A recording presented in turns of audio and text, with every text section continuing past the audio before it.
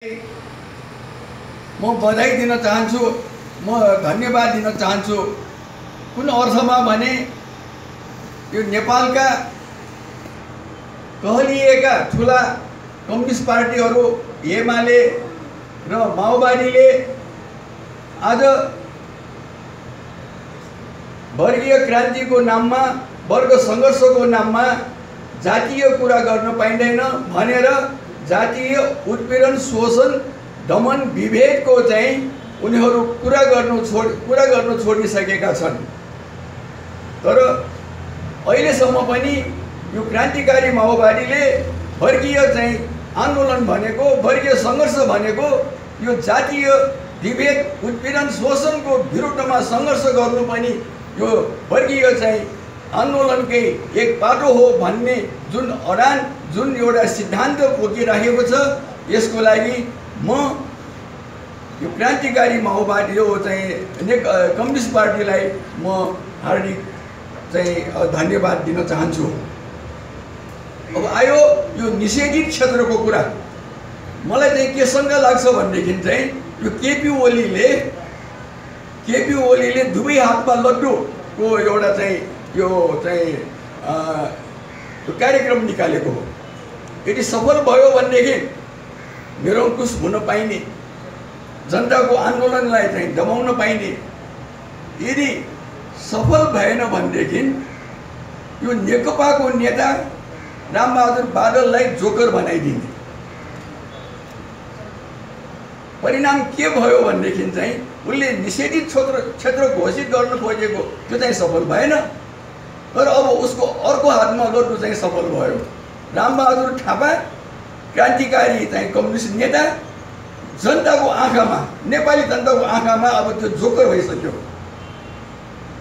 हेर्नुहोस् उसले आफूले गर्नु खोजेको सुरुको एउटा सानो कार्यक्रम पनि सफल पार्न सकेन। उसको भोलिको चाहिँ केही चाहिँ मूल्य चाहिँ भएन। त्यसैले यो निषेधित क्षेत्र जहाँसम्म मलाई लाग्छ यो केपी ओलीको चाहिँ षड्यन्त्र हो। अर्को कुरा अब यस्तै षड्यन्त्र फेरि चाहिँ गिरिराज मणि पोखरेल उसमा पनि देखिएको छ। जुन उसले चाहिँ यो शिक्षा विधेयक चाहिँ उसले ल्याउन खोजेको थियो त्यो पनि केपी ओलीकै हो त्यो। खास गरिकन मनमोहन चाहिँ मेमोरियल चाहिँ यो हस्पिटललाई जोगाउनको लागि चाहिँ ल्याइएको थियो। त्यो घेर त्यो सफल भएको भएदेखि केपी ओलीलाई धेरै फाइदा हुन्थ्यो। अब असफल भए पनि चाहिँ उसलाई केही छैन किनभनेदेखि चाहिँ यो नेकपाको चाहिँ एकजना नेता नाम कहलिएको नेता गिरिराज मणि पोखरेल चाहिँ त्यो पनि चाहिँ झोकरी भइदियो। उसले सुरुमै ल्याएको चाहिँ आफ्नो जुन त्यो चाहिँ कुरा हो त्यो सफल भएन असफल भयो फेल भयो। हेर्नुहोस्। यो राजनीतिक चाहिँ कुरा भयो अब यो गाई मार्ने कुरामा तपाईँहरूलाई थाहा होला चिनिया कम्युनिस्ट पार्टीले गाई मार्न बन्देज गर्यो गाई गोरु मार्न चाहिँ पाइँदैन कसैले गाई गोरु मार्यो भनेदेखि चाहिँ उसलाई चाहिँ सजाय सरकारले नै तोक्यो किन भन्दाखेरि उनीहरूको जनयुद्धको बेलाको कुरा हो यो। त्यहाँ चाहिँ आधार इलाकाको कुरा हो। त्यहाँ चाहिँ खेती गर्नको लागि चाहिँ उनीहरूलाई गाई गोरु चाहिने मान्छेहरूले त गाई गोरु चाहिँ सबै चाहिँ मारेर खाइदिँदाखेरि चाहिँ उनीहरूको कृषि यो चाहिँ क्षेत्रमा चाहिँ साह्रै सङ्कट पऱ्यो त्यसपछि माओ सेटुङले कम्युनिस्ट पार्टीले कसैले गाई गोरु माऱ्यो भनेदेखि चाहिँ उसलाई चाहिँ सजाय गर्ने चाहिँ घोषणा गरेको थियो। हो हुनसक्छ भारतमा पनि भारतमा पनि चाहिँ गाई गोरु कृषिको लागि नभई नहुने अनि ती गाई गोरु सबैले मारेर खाइदिने। त्यहाँ पनि चाहिँ यो कुरा दोहोरिएको चाहिँ हुनसक्छ। अर्को कुरा ऋषिमुनिहरू यो ऋषिमुनिहरू सबै गाई गोरुको मासु खान्छन्। तपाईँहरूलाई थाहा हुनसक्छ यो। बेड कसैले बेड परेको छ भनेदेखि बेड चाहिँ तपाईँ पल्ट्याएर हेर्नुहोस्। ठुल्ठुलो यज्ञ हुन्छ। त्यहाँ हजारौँ गाई गोरुलाई चाहिँ त्यहाँ चाहिँ त्यो होममा चाहिँ बलि दिइन्छ। र हजारौँ ऋषिमुनिहरू बाहुनहरूलाई चाहिँ त्यही गाई गोरुको मासु उसलाई चाहिँ त्यो भोजनमा त्यो राखेर चाहिँ खुवाइन्छ। तपाईँहरूलाई यसमा अभिरुचि भएदेखि वेद चाहिँ पल्टाएर हेर्नुहोस्। वेदमा यो कुरा लेखिएको छ। भन्नुको माने के हो भनेदेखि चाहिँ यो गाई गोरु भनेको परापूर्व कालदेखि नै मारेर चाहिँ काटेर खाने कुरा हो यो। यो नखाने भनेर अहिले पछि मात्रै कृत्रिम रूपमा चाहिँ बनाएको हो। र जहाँसम्म नेपालको कुरा छ नेपालमा आदिवासी जनजातिहरू मुसलमानहरू गाई गोरु खान्छन् तर अब के भइदियो भनेदेखि चाहिँ सरकारले कानुन बनाइदियो खानु पाइँदैन र अहिले त के छ भनेदेखि कानुन पनि छैन अब त चाहिँ धर्मनिरपेक्ष लागु भइसकेको छ त्यही पनि चाहिँ हुँदैन काटेको चाहिँ थाहा पायो भनेदेखि चाहिँ समात्ने अनि उनलाई चाहिँ आजीवन चाहिँ कारावासमा राख्ने काम भइरहेको छ यो किन भयो त।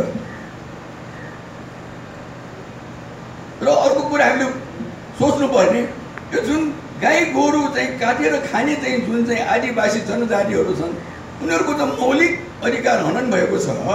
उनीहरूको मानव अधिकार हनन भएको छ। त्यसैले नेपालको मानव अधिकार चाहिँ संस्थाहरूले मानव अधिकार आयोगले यो विषयमा बोल्नु अत्यन्त आवश्यक छ। जुन अहिले जेलमा चाहिँ परिराखेका हाम्रा नेपाली दाजुभाइहरू छन् उनीहरूको लागि कसले आवाज उठाइदिने? अघि बोल्ने एकजनाले चाहिँ भन्नुभएको राम्रै लाग्यो कि एक दिन चाहिँ गाई गोरु काटेर खाने एउटा हामी चाहिँ कार्यक्रम चाहिँ राखौँ। उहाँले त राम्रै कुरा भन्नुभयो। तर यो कुरा के हो भनेदेखि अब कसले गर्ने? उहाँ त गर्नुहुन्न। कसले गर्ने भन्दाखेरि त्यो गर्ने कुनै संस्था निस्किदिएदेखि निस्किएको भएदेखि त्यो चाहिँ राम्रै हुन्छ। र अघि फेरि मैले अघिको कुरामा आउँछु। यहाँ नेपालमा धर्मनिरपेक्षता भइसकेपछि पनि त्यो पुरानै मुलुकी चाहिँ ऐनलाई फेरि चाहिँ जिउदाउन किन खोज्दैछ? किन भनेदेखि चाहिँ नेपालको संविधान यो एक जातिलाई चाहिँ ध्यानमा राखेर बनाएको संविधान यो खस आर्यहरूको लागि ध्यानमा राखेर बनाइएको संविधान हो। यो खस आर्यवादी संविधान हो। हामी नेपाली सबै नेपाली जनताको संविधान होइन त्यो। त्यसैले संविधानमा खस आर्यको मात्रै परिभाषा पाइन्छ। अरू कुनै पनि जातिको त्यसमा परिभाषा पाइँदैन। यो ठुलो विभेद हो। र सरकार सरकार पनि के छ भनेदेखि त्यही संविधानको आधारमा र पार्टीहरूको जुन पार्टीहरू चाहिँ खस आर्यहरूले नै कब्जा गरेको छ।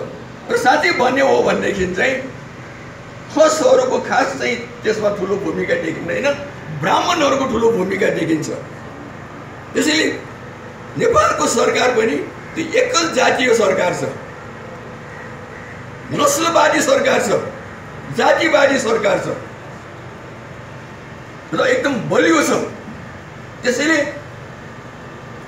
यो नस्लवादी यो जातिवादी यो एकल जातीय चाहिँ सरकार चाहिँ भएको हुनाले अब उसलाई कसले चाहिँ छुने? उसले जे गरे पनि हुन्छ अब। ऊ शक्तिशाली छ महान एकदम चाहिँ शक्तिवान छ।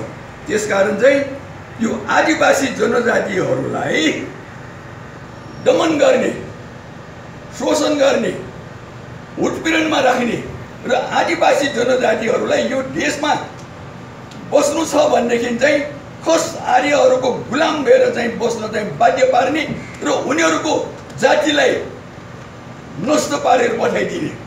उनीहरूलाई पनि यो खस आर्यकरण गरेर पठाइदिने।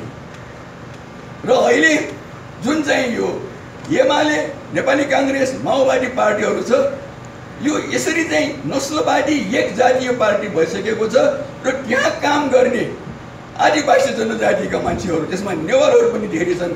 उनीहरू के हो भनेदेखि त्यही जातिवादी नस्लवादीका गुलाम भएर चाहिँ त्यहाँ चाहिँ बाँचिरहेको हामी चाहिँ पाउँछौँ। अहिले यो कुरा यो कुरा तर्कारो रूपमा चाहिँ हामी नेवारहरूमाथि चाहिँ आइपरेको छ। अहिले यो केपी ओलीले विकास समृद्धिको नाउँमा यहाँ चाहिँ आउटर रिङ रोड यहाँ चाहिँ चारवटा नयाँ सहरको उसले कुरा गरिरहेको छ। उसले रात दिन यो सहरी विकास मन्त्रीलाई उसले चाहिँ भनिरहेछ तिमी तुरुन्त काम सुरु गर। चाहिने पैसा चाहिने बजेट म निकालिदिन्छु। हेर्नुहोस् अहिले यो भ्यालीको स्थिति के छ? यो भ्यालीमा अव्यवस्थित सहरी विकास धुमधामसँग भइराखेको छ। यहाँ आवश्यकता पैँतिस करोड लिटर पानीको छ। अहिले आपूर्ति जम्मा नौ करोड लिटरको छ। यहाँका यो भ्यालीका मान्छेहरू यो पानी बिनाको जीवन चाहिँ बाँचिरहनु परेको छ। केपी ओलीलाई त्यो केही मतलब छैन। कीर्तिनिधि विष्टको पालोमा होला एउटा चाहिँ एउटा चाहिँ परियोजना देशको चाहिँ योजना भनेर उसले बनाएको थियो। नेपालमा अब यो भ्यालीकै कुरा गर्दाखेरि भ्यालीमा साठी प्रतिशत चाहिँ खुल्ला भूमि हुनुपर्छ।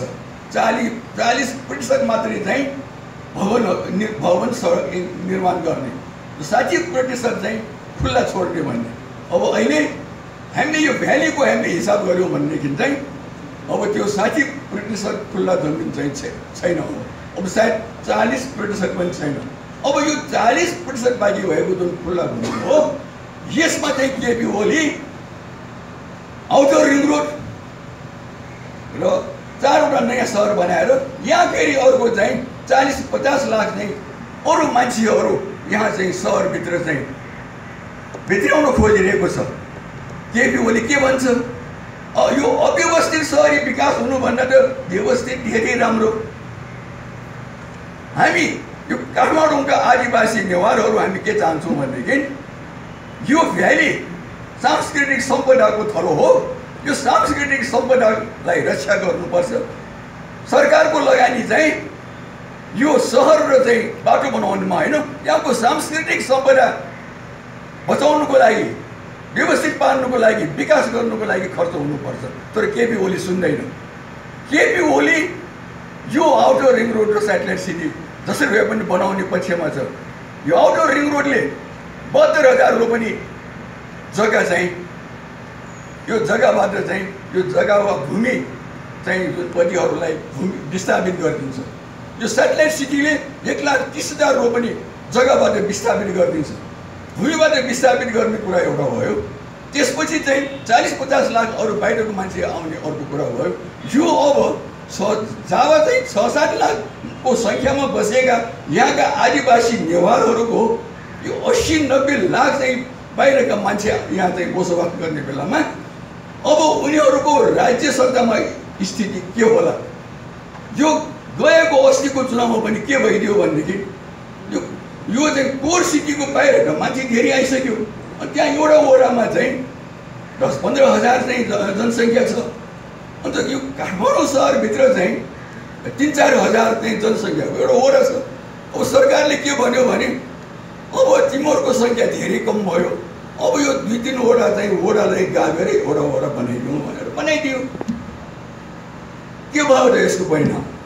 यहाँको नगरपालिकामा चाहिँ आदिवासी नेवारहरूको उपस्थिति कमजोर भयो। उनीहरूको सङ्ख्या कम भयो धेरै कम भयो। अब अर्को आउने चुनावमा अब के हुन्छ भनेदेखि बाहिरबाट आएका चाहिँ जुन मान्छेहरू छन् उनीहरूको सङ्ख्या झन् धेरै बढ्नेछ र आदिवासी नेवारहरूको अब महानगरपालिकामा उनीहरूको राजनीतिक उपस्थिति झनै कमजोर चाहिँ भएर चाहिँ जाने देखिन्छ। यसको माने के हो भने जम्मा चाहिँ छ सात लाखको सङ्ख्यामा भएको यो आदिवासी नेवारहरू हो जसले चाहिँ यो भ्यालीलाई विश्वमा चाहिँ चिनाउने काम गरेको थियो। अब उनीहरूको अब स्थिति के हुन्छ? अस्सी नब्बे लाख बाहिरका मान्छेहरूको अगाडि यहाँका छ सात लाख नेवारहरू जसलाई चाहिँ सरकारले भूमिबाट विस्थापित गरिदियो जसलाई सरकारले राज्य सत्ताबाट विस्थापित गरिदियो हुँदा हुँदा स्थानीय राज्य सत्ताबाट पनि विस्थापित गरिदियो। यो नेवारहरू अब यिनीहरू यो राज्य सत्ताबाट भूमिबाट र यिनीहरूको यिनीहरूलाई भाषाबाट पनि विस्थापित गरिसके। अहिले यहाँका आदिवासी नेवारका बच्चाहरू नेवार कुरा गर्न सक्दैन किन यस्तो भयो किन भन्दाखेरि यहाँको सरकार जातिवादी छ नस्लवादी छ यिनीहरू त के चाहन्छन् भनेदेखि चाहिँ आदिवासी जनजातिहरूको भाषालाई पनि मारेर पठाउने भूमिबाट विस्थापित गरेर पठाउने र यो जातिलाई पनि समाप्त पार्ने यो जातिको चाहिँ खस आर्यकरण गर्ने अभियानमा नेतृत्व अहिले यो केपी ओलीले गर्दैछ तसर्थ म के भन्न चाहन्छु भनेदेखि चाहिँ क्रान्तिकारी कम्युनिस्ट पार्टीले वर्गीय चाहिँ क्रान्तिभित्र यो चाहिँ आदिवासी जनजातिको जुन शोषण उत्पीडन विभेदको कुरा छ जुन उनीहरूको मुक्तिको कुरा छ यो हामीले छोड्नु हुँदैन भनेर जुन चाहिँ कम्युनिस्ट पार्टीले भनेको छ यसको लागि अहिले मैले धन्यवाद दिएँ। म आशा के गर्छु भनेदेखि चाहिँ अब पार्टीले जसरी यो राम्रो सही सिद्धान्त समातेको छ यो सही सिद्धान्तमा अगाडि बढ्नेछ। यहाँका आदिवासी जनजातिहरू र एक नम्बरमा केपी ओलीको निशानामा एक नम्बरमा सखाप पार्ने जाति भनेको नेवार जाति नै हो। नेवार जातिलाई सखाप पार्न सक्यो भनेदेखि अरू जातिलाई सखाप पार्नु गाह्रो हुने छैन। त्यसकारण चाहिँ अब यो आदिवासी नेवारहरूको सङ्कट नेवार जातिको जाति ठुलो सङ्कटमा परेको छ यसमा चाहिँ यो हाम्रो पार्टीले ध्यान दिनेछ भन्ने चाहिँ म चाहिँ आशा गर्दछु र अघि एकजना साथीले भन्नुभएको कुरामा यो जुन चाहिँ विश्व साम्राज्यवाद र राष्ट्रवादको विरोधमा आदिवासी जनजाति लाग्नुपर्छ भन्यो योसँग म सहमत छैन हामी आदिवासी जनजातिहरू यो कुरामा सहमत हुनु हुँदैन किनभनेदेखि चाहिँ